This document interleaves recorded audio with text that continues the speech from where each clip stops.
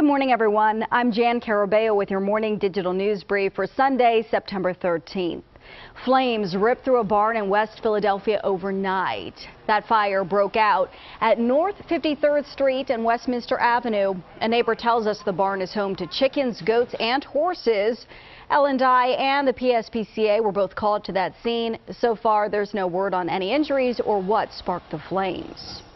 A woman is killed in a motorcycle crash in Philadelphia's West Oak Lane neighborhood. Police say the woman was driving that motorcycle just before 7 o'clock last night at Stenton Avenue and Haines Street. A black SUV turning into the parking lot, we're told, hit that bike and killed the woman who was riding on it. No word if the other driver is facing any charges. And today's the day Eagles fans have been waiting for. The Birds kick off the 2020 season against the Washington football team later today at 1 o'clock in the afternoon. The Birds are on the road for their first game. Of course, the COVID-19 pandemic has prompted officials to ban fans from attending the games. Next week's home opener at Lincoln Financial Field has cutouts of fans ready to go. Now to the eyewitness with the forecast. Here's meteorologist Matt Peterson. Hey, Matt.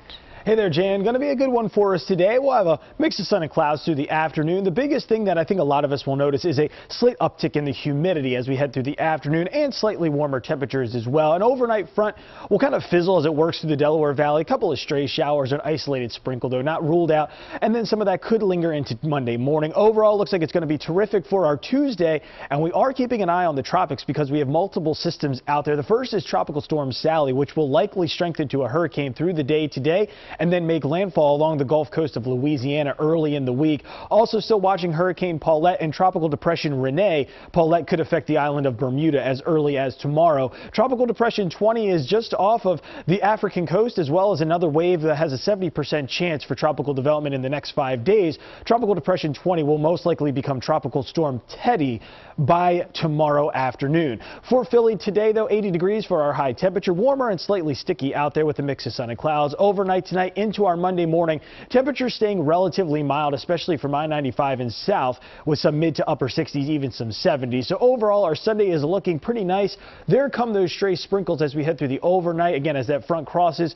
And then through our Monday afternoon, we'll look for decreasing cloud cover and, again, drier conditions taking over. So while our comfort index today is a little bit muggy, it gets a little more pleasant for Monday and then absolutely gorgeous for Tuesday. 79 tomorrow after the 80 today. Looking great through Tuesday and Wednesday with plenty of sunshine and some low to mid 70s there. And then our next best chance for a couple of showers, Jan, comes at the end of the week. All right, Matt. Thanks so much. And remember, you can always get the latest news and weather headlines right here on CBSPhilly.com.